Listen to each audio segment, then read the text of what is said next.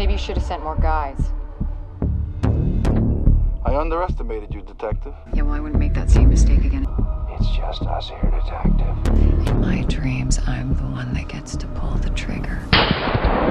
We found his fingerprints at the crime scene. Can't be a coincidence. Javi, what are you saying? That Castle's a killer?